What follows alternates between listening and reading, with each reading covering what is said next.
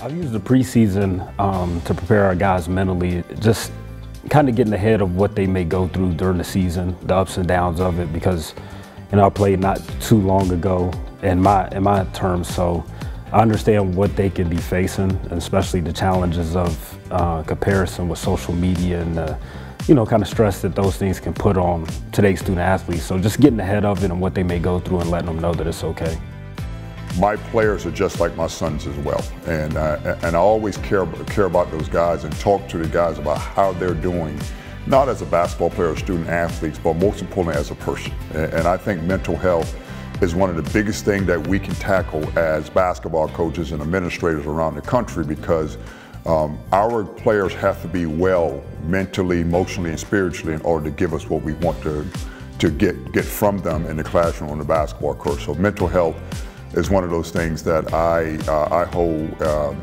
at a high esteem.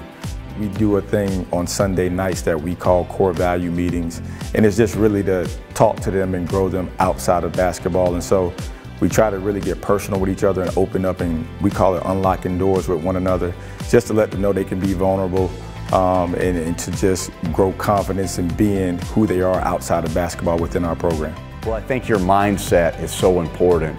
You know, both as an athlete, but, but just going through life. And, and we're always talking about training our minds.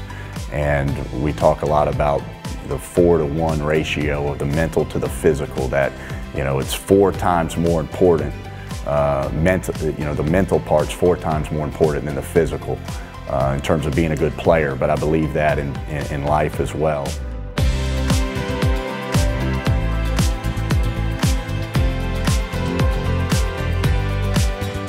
guys, you know, definitely someone that I lean on a lot. Been leaning on a lot more lately. But I also pour a lot into my teammates. You know, how can I how can I help them even if I'm feeling down? Just you know, loving them, caring for them is something that I I like doing a lot. So I try to put an emphasis on that every day. The person I can rely on to pick me up is my mom. Uh, growing up, she always been my rock. She always been there, been there for me. Uh, whether it's good or bad, she always told me the things that I didn't want to hear, but I needed to hear when I was younger. So I say my mom my mother because she's very calm-headed like me. So if I get out of whack and she's in and she's in good spirits, I know that she'll be able to help me. My person would have to be my sister. Um, even though people think we don't, we bump heads a lot. Uh, probably my mom. My mom is the person that I call when I'm down, and just her talking to me could bring me back up, and I can feel so much better.